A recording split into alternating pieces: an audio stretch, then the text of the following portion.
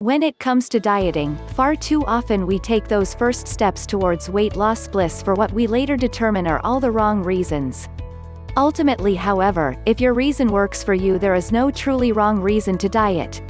The trick is in finding the reason that will actually work for you.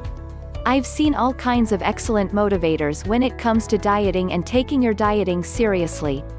One of the more common reasons is to lose weight.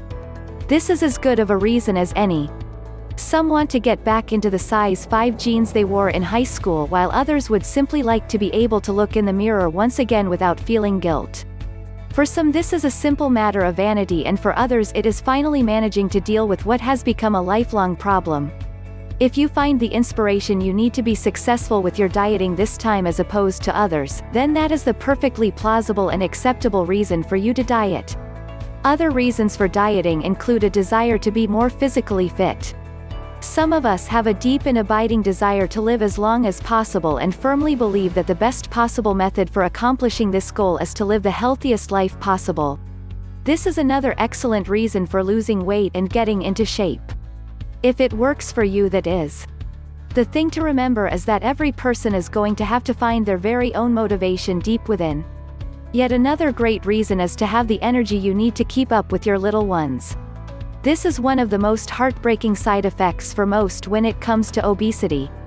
There is simply no energy left over at the end of the day to enjoy doing things with your precious little ones who are young for such a very short amount of time. You desperately want to be able to build those precious memories with them but absolutely have no energy with which to do so. If that isn't bad enough you probably, if you are considered morbidly obese, have noticed that many of the simplest activities with your children often bring you physical pain that is the direct result of your weight. Revenge is a dish that is best served cold and another excellent motivator for some when it comes to dieting and taking off those pesky pounds.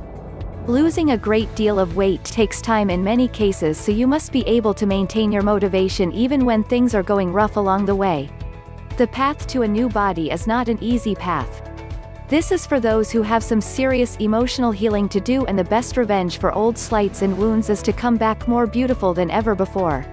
If this motivation is what it takes for you to take off the pounds then this is the motivation to which you should cling. Religion is another common weight loss motivation. Some people believe the body should be treated as a temple, there is nothing wrong with this philosophy at all, though it takes some us longer to find our way to that line of thinking than others. Religion and faith are powerful motivators, as they have been known to bring healing to those in need by the power of their faith or their prayers.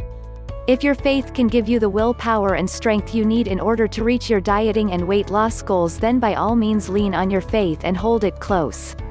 No matter what motivation you have for dieting and losing weight if you find it is no longer working for you, then you need to find another motivator quickly.